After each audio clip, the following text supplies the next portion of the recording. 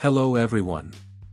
Today in the Jujutsu Battles Tokyo Saga tier list video, we will discuss their list as well as all the characters and guides. As we all know, this game has recently been released, and whether you are a beginner or a pro, you will need a suitable level list to gain an advantage in the game.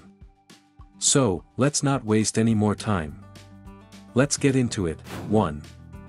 Introduction to Jujutsu Battles Tokyo Saga.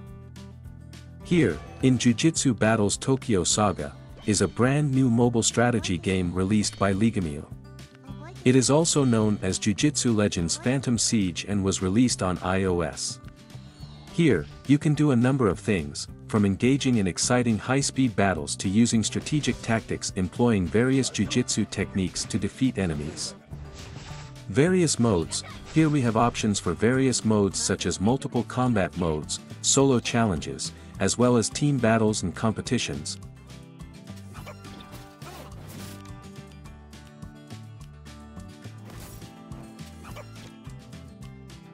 Characters, this game features all the famous characters from the anime such as Kamiya, dragons, pandas, etc. You can not only collect them but also form the strongest team and fight with them. 2.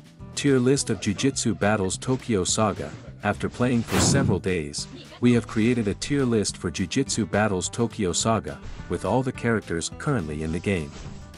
We have crafted this tier list for new players, those who can easily focus on the campaign mode. The tier is divided into five types, which are Grade D, C, B, A, S, and SS, remember, here D stands for the lowest rank and SS is the highest rank, and I only rank from SSR characters and above, because characters SR and below are not really strong, and obtaining SSR characters is also quite easy. Now let's take a look at our tier list. I'll rank Miwa Kasumi, Must Die, and Panda in tier D because they are indeed quite weak compared to their roles. For example, Panda's role as a tanker is hindered by having only damage reduction skills without abilities like HP regeneration, shielding, or spell resistance. Overall, he is relatively easy to defeat. Miwa Kasumi, as a fighter, only focuses damage on one target and lacks defensive abilities. Must Die, also a tanker, lacks damage reduction abilities and only has a 30% chance to stun, which isn't very high, because there are too many characters in tiers C and B, I can't go through each one individually. So, I'll just list them. But if you'd like to learn more about each character, please comment below, and I'll make separate videos for each character.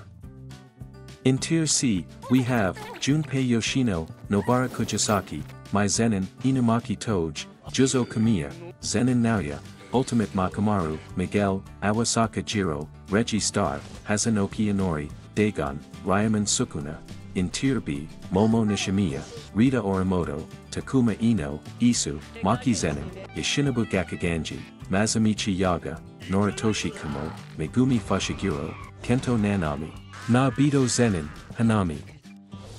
Tier A, Arata Nitta, Kyusuke Butsuya, Satoru Gojo, Aoi Todo, Choso, Yuta Okkotsu, Arata Nitta deserves to be promoted to Tier S because of her ability to revive one teammate and heal all teammates.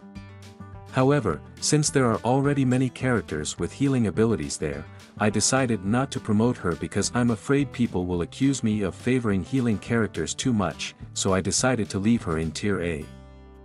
Kyusuke Butsuya is a fighter with the ability to both reduce and increase damage while being immune to control effects, Satoru Gojo excels in dealing damage based on a percentage of the enemy's HP, making him very potent, Aoi Todo is a demon in terms of tanking, almost guaranteeing enemy bleeding, boosting critical damage, and self-healing.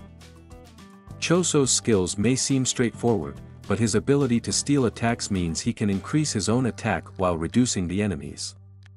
Additionally, his third skill, which inflicts curse and confusion, is particularly strong. Confusion causes enemies to attack both allies and enemies.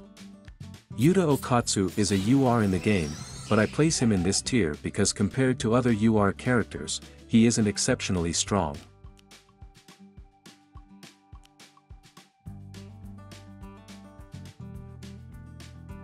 Tier S, Iori Utahime, Kurusu Hana, Shoko Ieiri, Mei Mei, Toji Fushiguro, I place Iori Utahime in this tier for a reason, she heals a lot for allies, ensuring the team's survival. She excels in the support role, increasing critical damage and defense for teammates.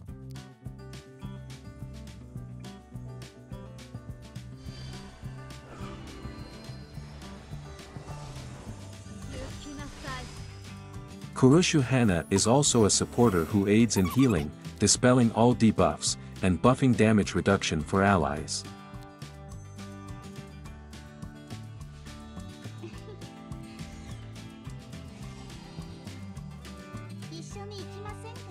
Shoko Ieiri is particularly special among the two aforementioned supporters because she can revive a teammate. If there's no one to revive, she heals the ally with the lowest HP, which, by my calculations, is about 72,000 HP, nearly 50% of a character's HP.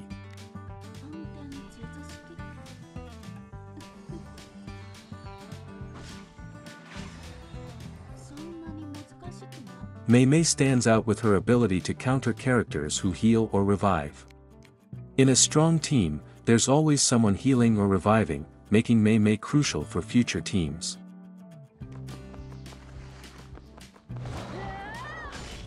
Toji Fushiguro, a remarkably strong fighter, focuses solely on himself and deals damage to the weakest enemies, swiftly eliminating the enemy's numbers.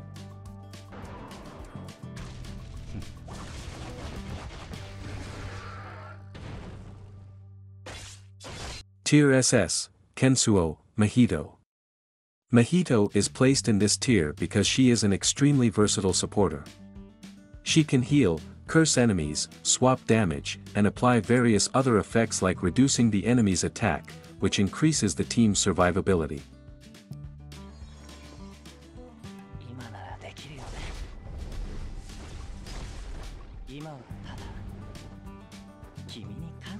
Kensuo is an extremely powerful mage, capable of inflicting various effects on enemies and dealing a tremendous amount of damage.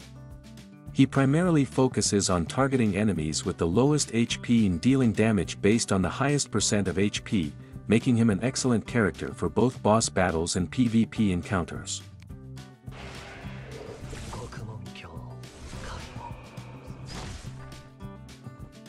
I've completed this tier list based solely on my understanding of these skills.